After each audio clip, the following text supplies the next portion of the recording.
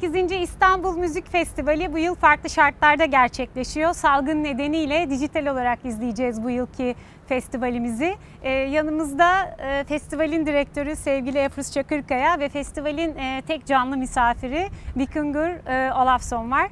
E, evet e, farklı bir deneyim olacak e, bu yıl bizim için. E, zor şartlarda buralara geldik. İki kez ertelendi ve sonunda dijital olarak da gerçekleşmesine karar verildi. Çekimler dünyanın ve Türkiye'nin pek çok noktasında devam ediyor.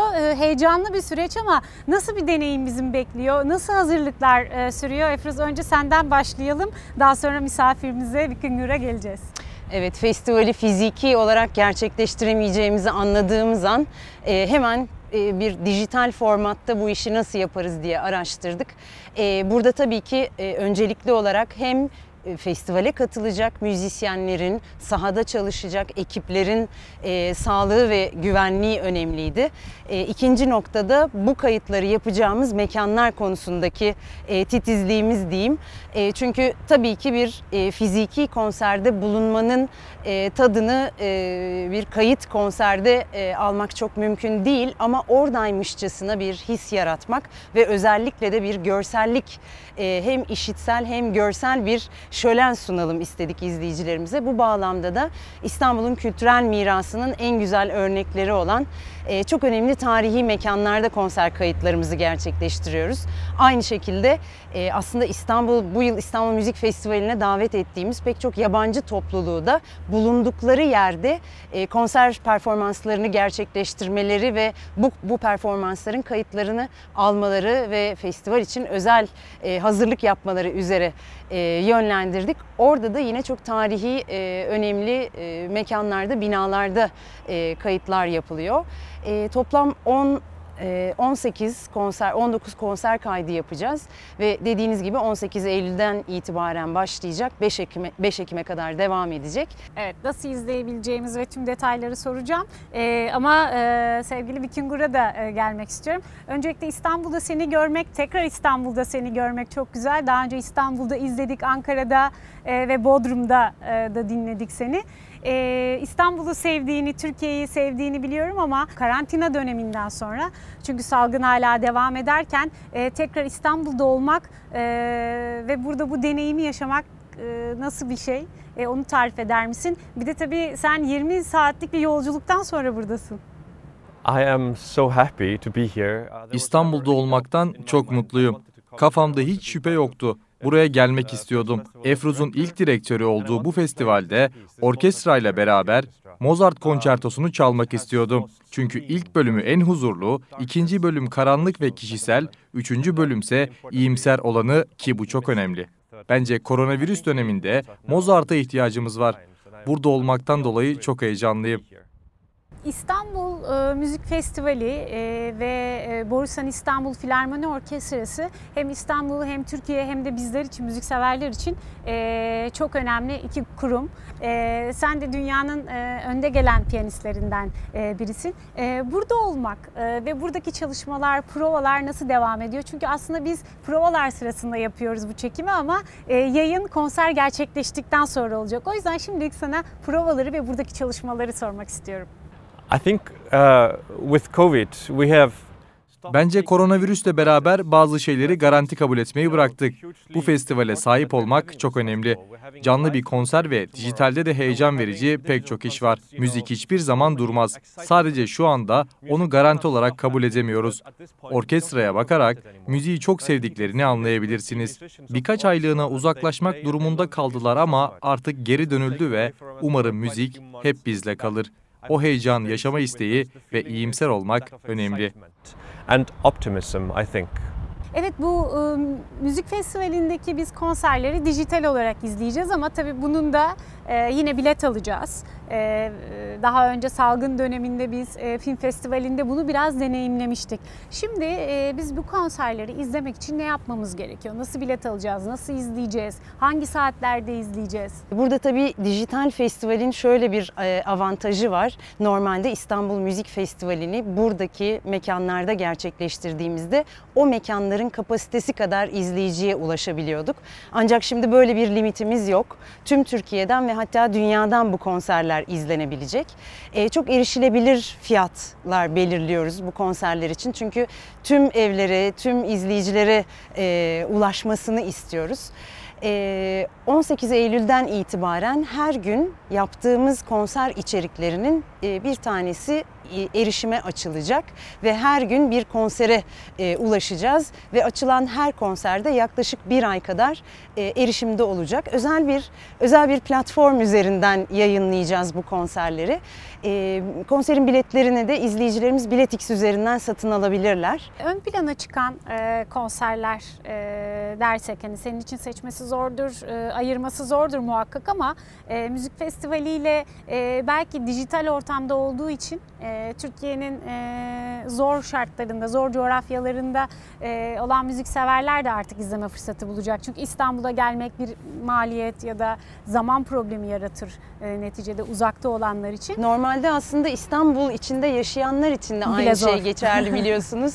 bir konsere gitmek için müthiş bir hazırlık aşaması var.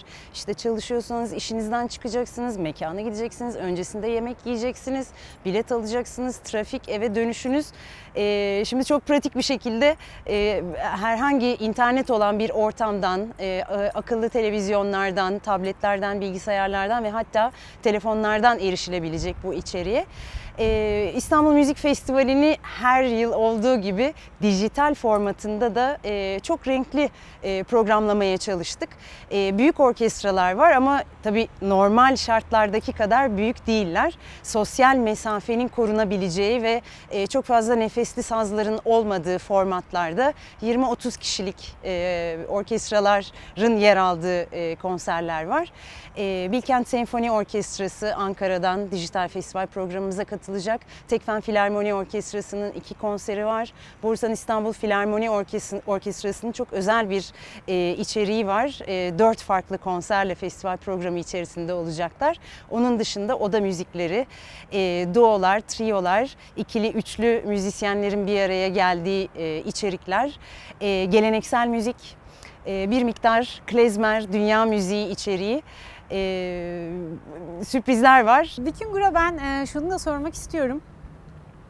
E, kendisinin e, farklı bir kariyer çizgisi var. Yani o 30 yaşına kadar e, evet başarılı ama e, adını duymadığımız bir Vikingur varken e, 30 yaşından sonra birden senin ismini her yerde duymaya başladık. Sen farklı bir kariyer çizgisinde ilerledin. Çünkü inandığın ve inanmadığın şeyler vardı ve inatla da o çizgide e, devam ettin. E, zor bir çizgi miydi? Nasıl bir deneyimdi senin için? Müzik ve kariyerdeki en önemli şey kendi sesini ve yolunu bulmak diye düşünüyorum. Senden öncekileri hiçbir zaman taklit etmemeye çalışarak senin için neyin doğru olduğunu bulmak önemli. Beni 2014'te keşfeden Türk menajerim Tuğçe Tez gibi.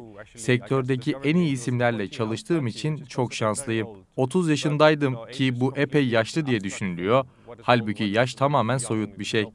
Yaşlı ya da genç nedir ki? Müzik hakkında önemli olan tek şey onu nasıl gördüğünüz ve ne kadar ileri götürebileceğiniz. Mozart öldüğünde 36 yaşındaydı. Ben şu anda 36 yaşındayım. Sanırım biraz geciktim.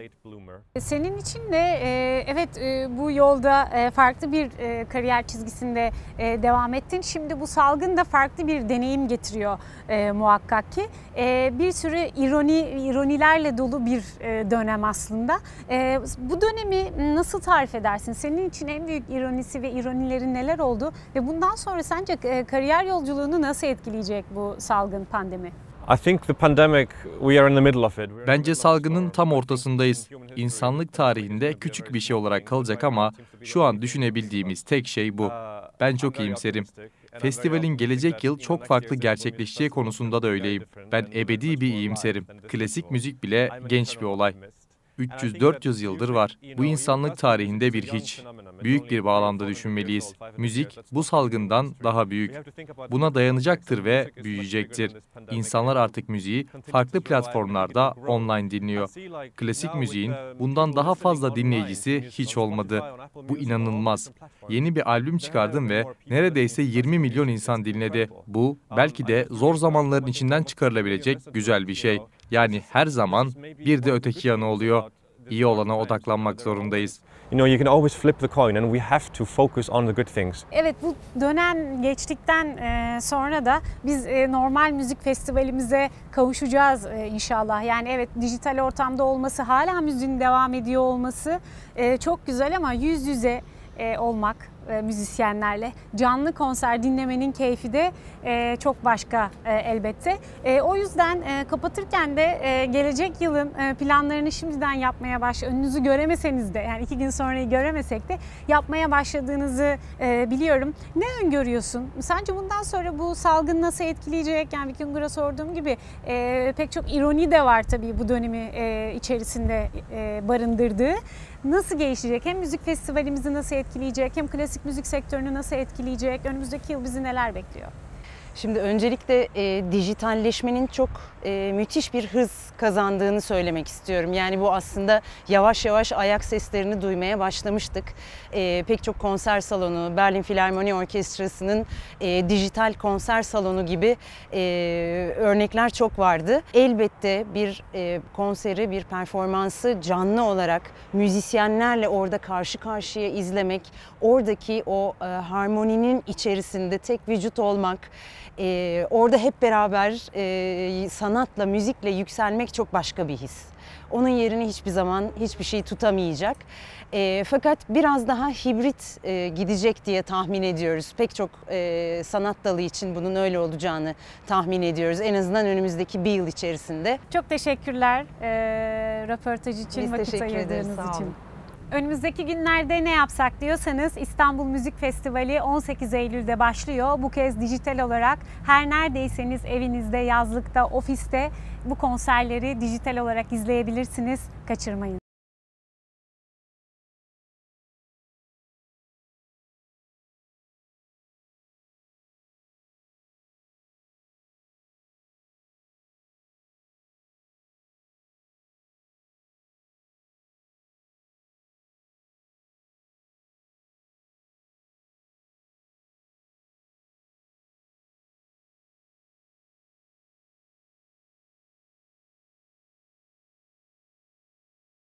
Uyandığımda sesim yoktu. Sezonun en iddialı oyunlarından biri. Gerçekten iki genç güzel oyuncunun performansına hayran kaldım. Ve tabii ki yönetmen e, Tamer Bey'in de. Yanımızda Burcu Görek, Dişat Çelebi ve yönetmen Tamer Levent var.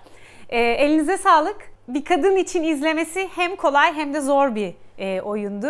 E, çünkü kadın üzerindeki toplum baskısını, anne üzerindeki kız evlat yetiştirirken toplum baskısını ve daha sonra e, kız çocuğu annesini kaybettikten sonra kendi içinde yaşadığı o çıkmazları, modern toplumun baskısını, geleneksel toplumun baskısını hepsini o kadın üzerinden e, ve o genç kız üzerinden çok iyi anlattınız. Çok da iyi bir rejiyle. Ellerinize sağlık. Amerika'da, İngiltere'de ve Avrupa ülkelerinde oynanmış ve kapalı gişe oynanmış bir oyun. İstanbul'a geldi. Hoş geldi.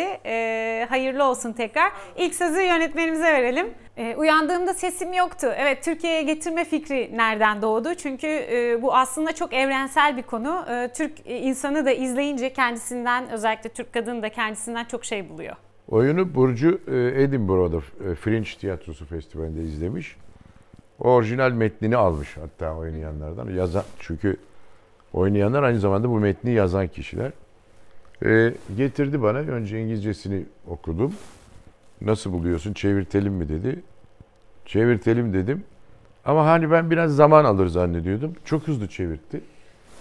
E, oyun da yani Türkiye'de çok e, benzeri olmadığını düşündüğüm bir oyundu o sırada. Modern bir oyun. Evet. Yani oynanış biçimi açısından, hızı açısından, çalışılması açısından, e, oyunculuk marifetleri açısından. Çünkü tiyatronun hemen hemen bütün türleri var içinde yani.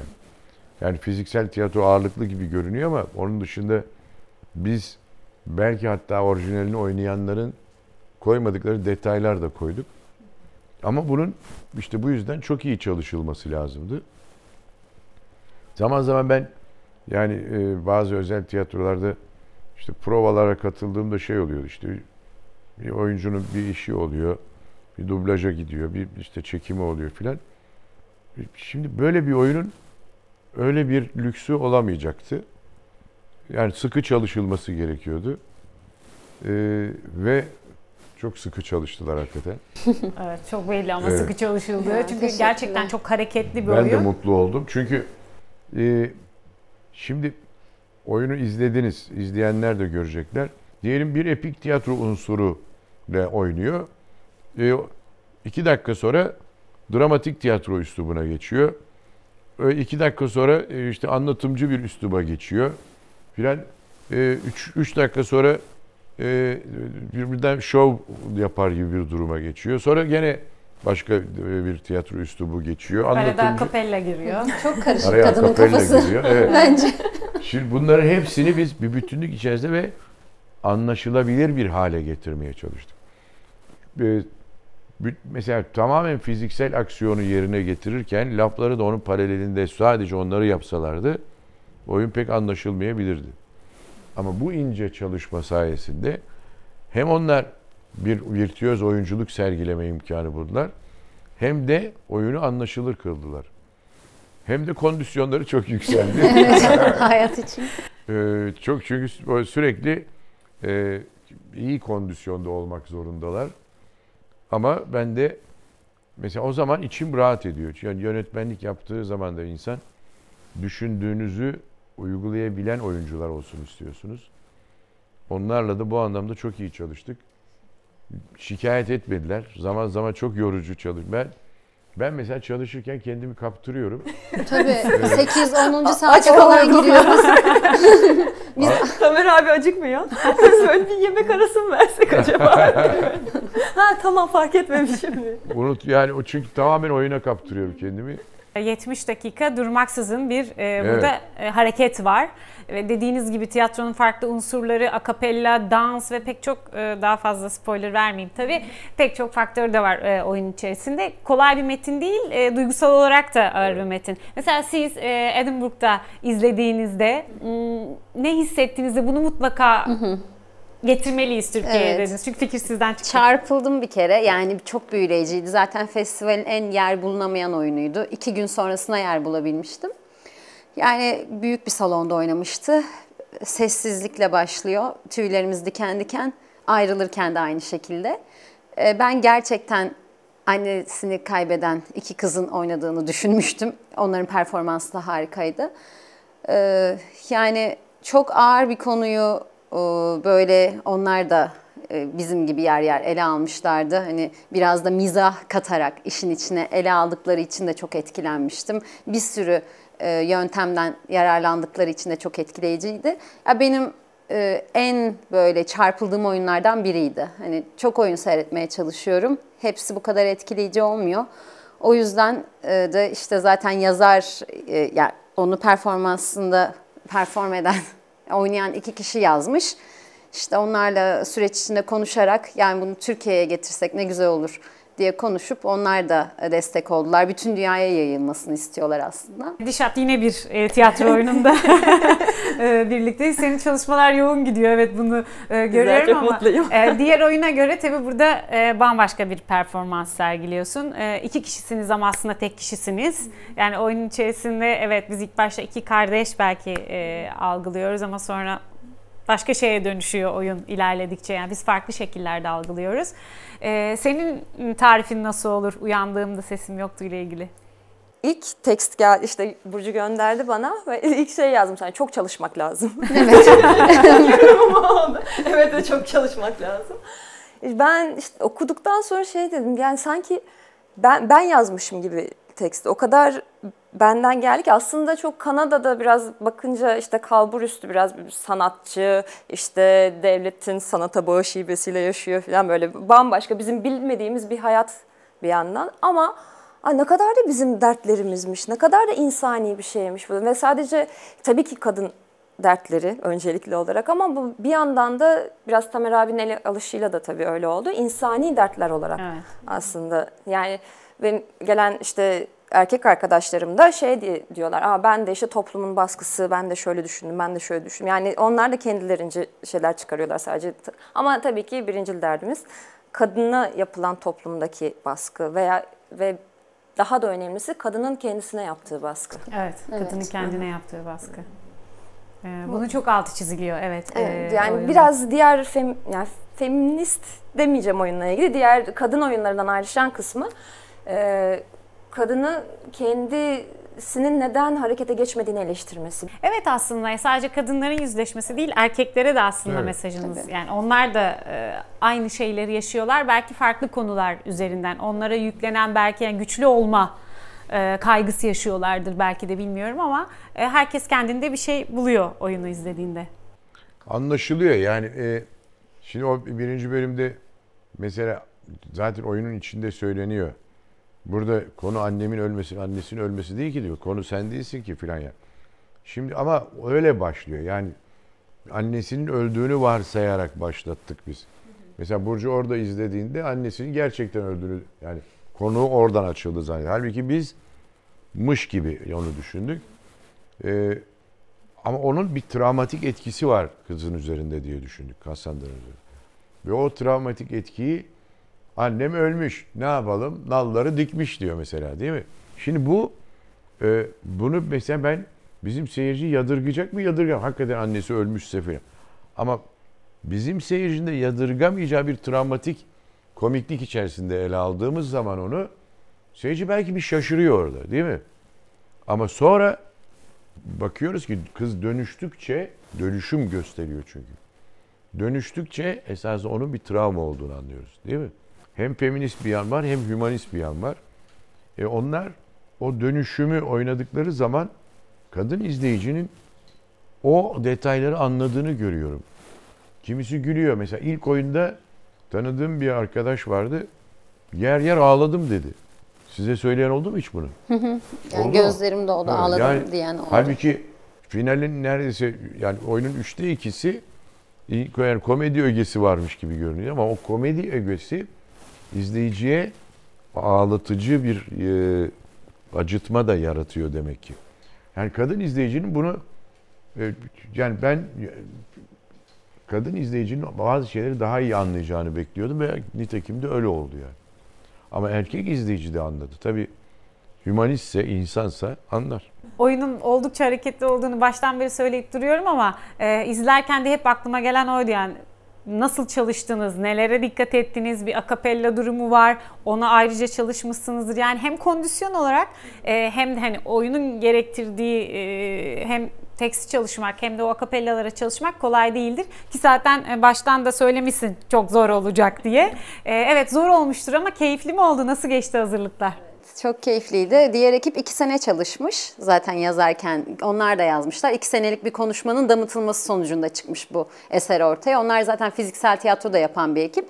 Biz de e, tam 3 ay çalıştık ve günde 8 saat bazen 10 saati buldu çalışmalarımız. En korkulu rüyamız aslında e, şarkılardı. Çünkü ya ben şarkı söylemeyi çok seviyorum. Dilşat da gayet iyi şarkı söyleyen biri ama akapella hiç yapmamıştık hayatımızda. İlk şarkıyı böyle kaymadan söyleyebilmemiz bir ayı falan buldu neredeyse.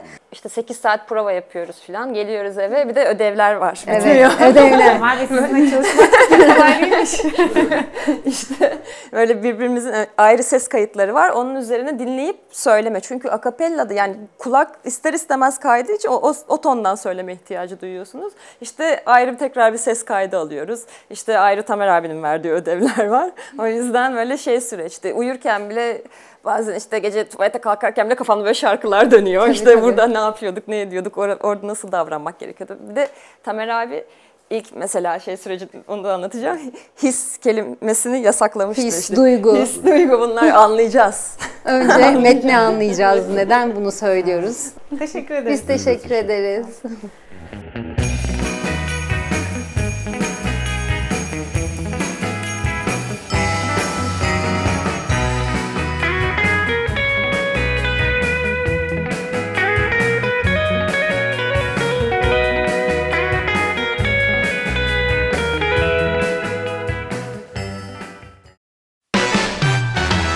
Modern Çin sinemasından bir seçkinin sunulacağı Hikaye içinde geçiyor başlıklı program, 17-27 Eylül tarihleri arasında İstanbul Modern Sinema'da izleyiciyle buluşuyor. Seçkideki filmler, Çin toplumunun içinden geçtiği güncel sosyoekonomik dönüşümü farklı konu ve karakterler yoluyla işlerken, bir yandan dünya sinemasında yerini gittikçe büyüten Çin sinemasının yeni türlerdeki açılımını da yansıtıyor. Türkiye'deki Güzel Sanatlar ve İletişim Fakültelerinin sinema, televizyon bölümlerinde öğrenim gören öğrencilerinin filmlerinin yarışacağı 27. Uluslararası Adana Altın Koza Film Festivali Ulusal Öğrenci Kısa Film Yarışması finalistleri belli oldu. Yarışmaya başvuran 117 film arasından 4 kategoride toplam 22 film finale kaldı. Festival 14-20 Eylül tarihleri arasında gerçekleşiyor.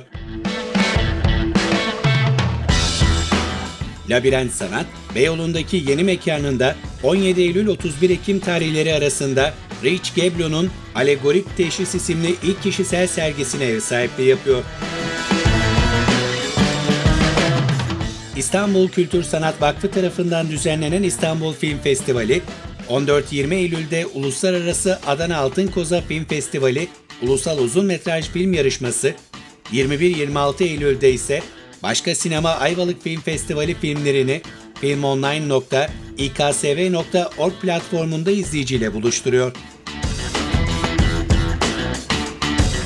Pera Müzesi öğrenme programlarının Minyatür 2.0 sergisi kapsamında hazırladığı çevrimiçi program, sulu boyayla minyatür çizimlerine odaklanan sanatçı atölyesi ve Osmanlı minyatürlerinin mimari boyutunu ele alan konuşmayla devam ediyor. Sulu boya ve maket gibi farklı tekniklerle minyatür sanatına yeni bir bakış getiren etkinlikler 6 ve 30 Eylül'de çevrimiçi gerçekleşecek.